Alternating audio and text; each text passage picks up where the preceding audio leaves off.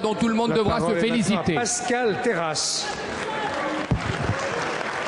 Monsieur le Premier ministre, la France est inquiète. Les Français ne croient plus à vos dissimulations. Leur déception est à la hauteur des espoirs suscités lors des élections présidentielles. Vous avez abusé les Français en les laissant croire à des slogans stupides. La France qui se lève tôt va subir les pires injustices avec la réforme des retraites. Le chef de l'État a annoncé trois mesures visant à corriger les inégalités les plus choquantes polypensionnés, carrière longue et pénibilité. Encore une fois, ce sont des effets d'annonce et des manipulations de langage. Vous confondez pénibilité et handicap. Même les élus UMP n'y croient plus. Le président de notre Assemblée nationale a dû lever la séance cette nuit en raison de la défaillance de votre majorité. Sur les carrières longues, vous dissimulez aux Français qu'il leur faudra 44 ans de cotisation pour en bénéficier. Ceux qui travaillent dur apprécieront. Vous trompez les Français, vous ne leur dites pas la vérité. Vous avez décidé, encore une fois, d'épargner les Français qui bénéficient du bouclier fiscal.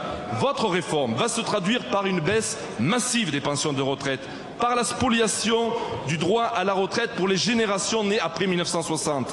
Votre réforme, elle est injuste et elle est déséquilibrée financièrement.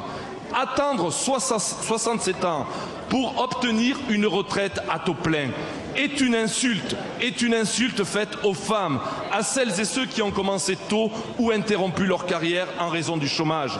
Vous avez décidé de tourner le dos à près de 50 ans de progrès social, de vous payer le luxe, de se nommer le dialogue et la concertation avec les organisations syndicales. Les socialistes vous le disent dans les yeux. Nous reviendrons en 2012 sur cette réforme. En 1997, nous avions abrogé la loi Thomas sur les fonds de pension que votre majorité avait votée.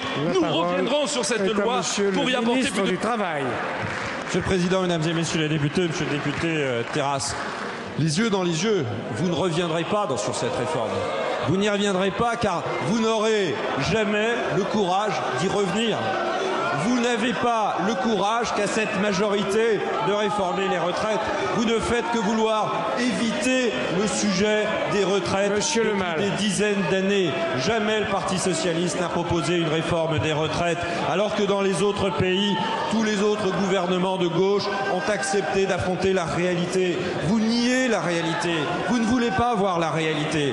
Votre projet, monsieur le député, votre projet, vos propositions sont fondées sur du sable, sont fondées sur du sable. Vous voulez construire la retraite des Français sur des recettes qui n'existent pas. Nous l'avons démontré hier pendant des heures. Votre projet est un projet fiscal. C'est un bombardement fiscal de la France. Bombarder fiscalement les entreprises, c'est créer du chômage. Bombarder fiscalement les classes moyennes, c'est encore une fois attaquer leur pouvoir d'achat. Ce n'est pas la bonne réponse pour les retraites. La bonne réponse pour les retraites, c'est à la fois d'allonger l'âge de départ, 62 ans pour les Français, c'est un âge inférieur à celui qu'ont connu d'autres pays. C'est aussi d'accepter de considérer que si nous travaillons plus longtemps, alors nous prenons en compte la difficulté des carrières. C'est le cas des carrières longues et c'est le cas de la pénibilité. C'est pour ça que notre projet, monsieur le député, est juste. C'est pour ça aussi que votre projet est égoïste et injuste. Il est égoïste parce que vous considérez et vous dites aux Français, c'est pas compliqué, c'est les autres qui vont payer, c'est les autres qui vont travailler plus, c'est les autres générations qui feront cet effort et pas les Français d'aujourd'hui. Et il est injuste parce qu'il ne conduit pas à l'équilibre financier des retraites.